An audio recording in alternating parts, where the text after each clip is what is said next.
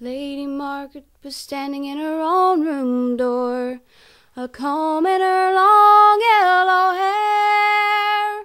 When who did she spy but sweet William and his bride, as to the churchyard they drew near. Then day passed away and night coming on, most of the men were asleep. White, standing at his bed feet. She said, How do you like your bed? And how do you like your sheet? And how do you like your fair young bride that's lying in your arms asleep? He said, Very well do I like my bed, much better do I like my sheet. But most of all, that fair young girl that's standing at my bed feet. Then once he kissed her lily white hand, twice he kissed her cheek. Three times he kissed her cold corpsey lips, then he fell into her arms asleep.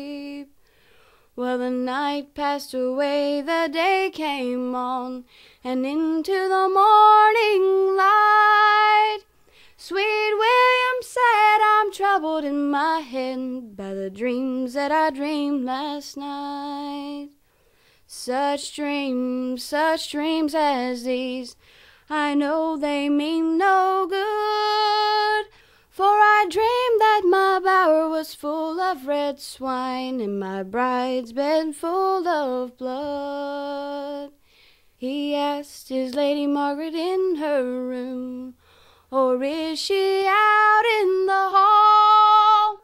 But Lady Margaret lay in a cold black coffin with her face turned to the wall.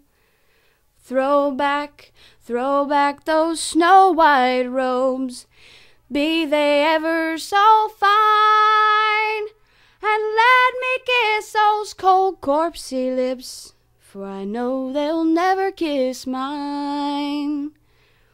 Then once he kissed her lily white hand, and twice he kissed her cheek. Three times he kissed her cold corpsey lips, then fell into her arms asleep.